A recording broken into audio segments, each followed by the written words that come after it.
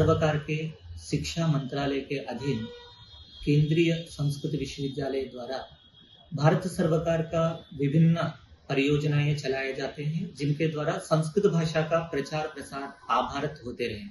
इसके अंतर्गत अष्टादशी एक परियोजना है।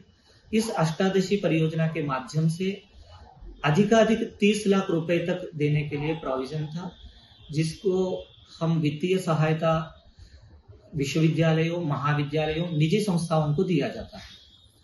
इस परियोजना का अंतिम दिनांक जो है अभी आवेदन करने के लिए अंतिम दिनांक जुलाई थर्टी फ़र्स्ट तक प्रावधान है।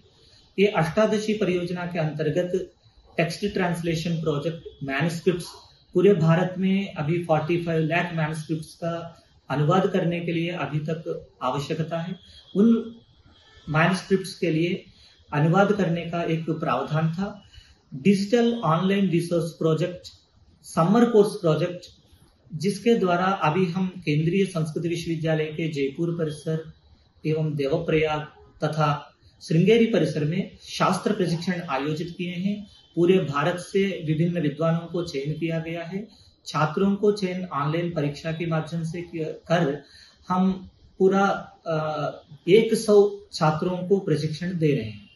इस प्रशिक्षण में मुख्य उद्देश्य यह था कि पूरे संस्कृत क्षेत्र में दुर्लभ ग्रंथ है। जिस दुर्लभ ग्रंथ को पढ़ाने के लिए कोई भी विद्वान आजकल अत्यंत विरल रूप से मिल रहे हैं, जो अंगुड़गणनीय विद्वानों को एकत्रित करते हुए उस शास्त्र शास्त्र को परिपोषण करना, परिरक्षण करना हमारा मुख्य उद्देश्य लेते हुए सभी विद्वानों के द्वारा छात्रों को प्रशिक्षण दिया गया। इस प्रकार एक समर कोर्स प्रोजेक्ट हमारे परियोजना के अंतर्गत था।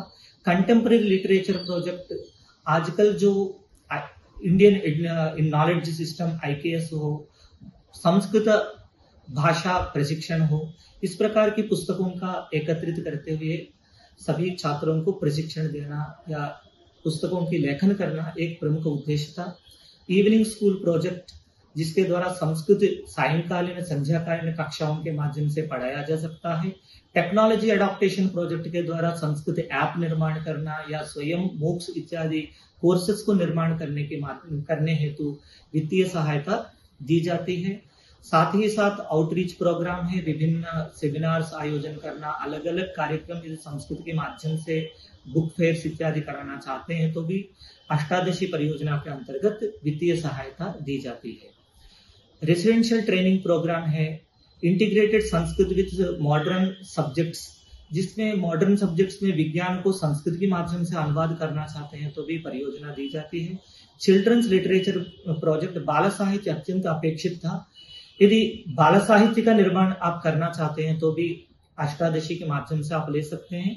Yoga through Sanskrit, Ayurveda through Sanskrit. यदि आयुर्वेदा योगा को संस्कृत के माध्यम से आप पढ़ाना चाहते हैं तो भी आपके लिए एक अत्यंत सुअवसर अष्टादशी परियोजना के माध्यम से होते हैं।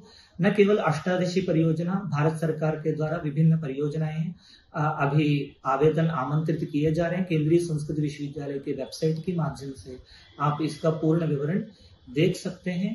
और संस्कृत भाषा का प्रचार प्रसार के साथ शास्त्र अध्ययन, शास्त्र अध्यापन आप सभी कर सकते हैं। आप सभी को धन्यवाद।